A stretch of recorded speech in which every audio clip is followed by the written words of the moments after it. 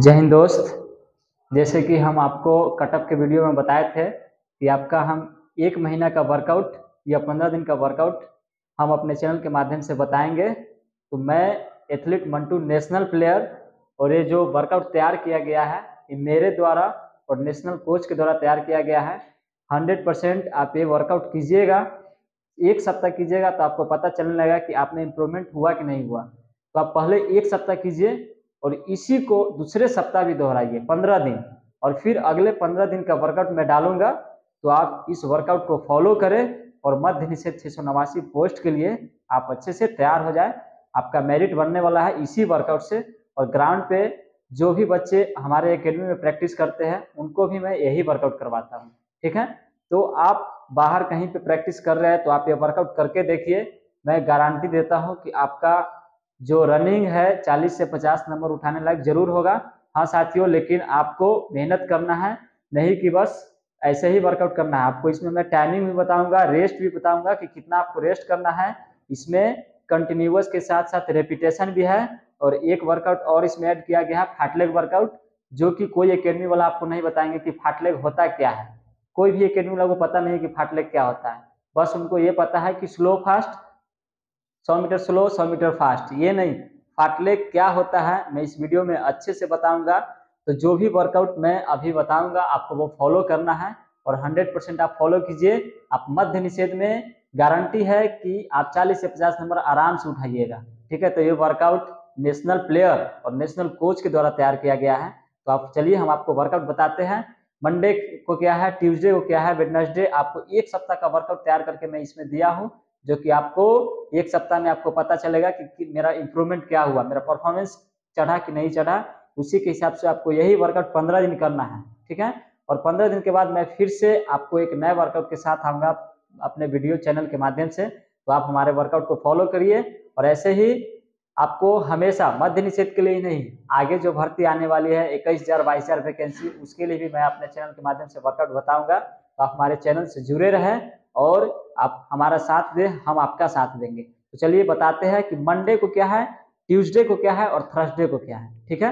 तो देखिए, सबसे पहले मंडे को आपको जो वर्कआउट करना है, वो 400 का 8 120 मीटर का लास्ट में दो को करना है, जिसमें से 400 मीटर का जो आप कीजिएगा, हर रेपिटेशन पे एक मिनट रेस्ट रहेगा, ठीक है? हर रेपिटेशन पे और आपको सबसे पहले पहला सप्ताह में एक पंद्रह का लगाना है। हर रेपिटेशन एक पंद्रह का मंडे को, और इवनिंग में आपको तीस मिनट स्लो कंटिन्यूस करना है, ठीक है? और ट्यूजडे को आपको हील रनिंग या स्टेयर पे आप कीजिए या रोड पे कीजिए 25 से 30 मिनट आपको करना है। अगर रोड पे आप हिल रनिंग कर रहे हैं रोड पे तो आपको आठ अप लगाना है, आठ डाउन लगाना है। अगर आप स्टेयर पे कर रहे हैं तो 25 से 30 मिनट आप अप डाउन कीजिए। और शाम में आपको 25 मिनट स्लो कंटिन्यूस करना है। और वेडनेसडे को आपको 40 मिनट कंटिन्यूस करना है।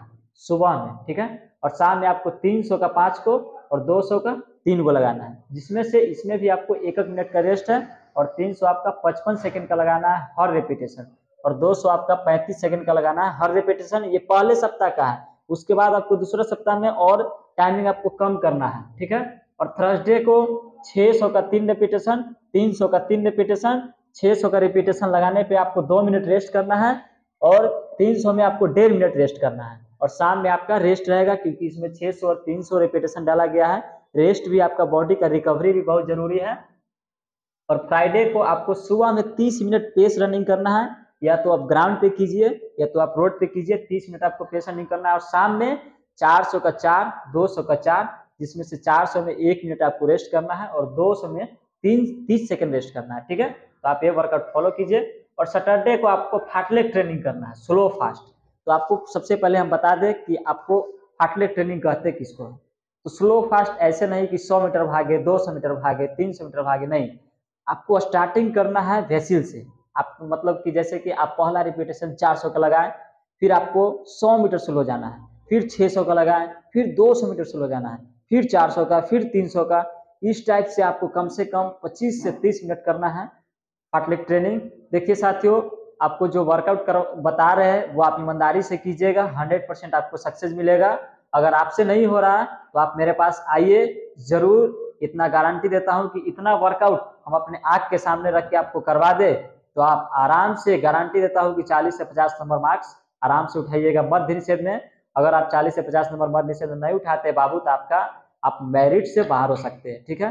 तो आप ये वर्कआउट को फॉलो करें, जो वर्कआउट मैं अभी पूरा बताया ये एक सप्ताह का है और दूसरे सप्ताह में आपको क्या करना है कि जिस जिस में मैं एक पंद्रह बताया है, दूसरे सप्ताह में अपने आप एक दस का भागिएगा। और जो 300 का, जो 55 सेकंड बताया है, वो अपने आप 50 सेकंड भागिएगा, ठीक है? तो ये मात्र 15 दिन का वर्कआउट है पूरे, ठीक है? पहले आप एक सप्ताह कीजिए, आपका परफॉर्मेंस आपको भी चढ़ेगा, ऐसा नहीं है कि नहीं चढ़ेगा, ये वर्कआउट ही ऐसा तैयार किया गया है।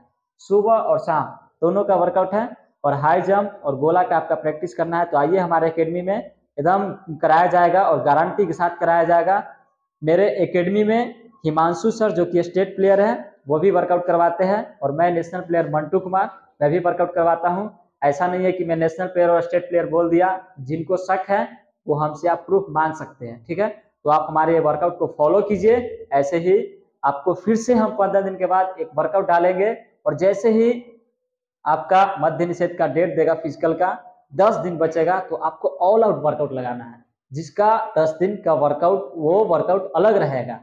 क्योंकि लास्ट का जो वर्कआउट रहता है, वो बहुत फ़ायदेमंद रहता है और वो करना बहुत ज़रूरी है, ठीक है? और डाइट प्लान भी मैं बताऊँगा, क्योंकि वर्कआउट करने से ही नहीं होता है, उसके लिए आपको डाइट भी बहुत ज़रूरी है, ठीक है?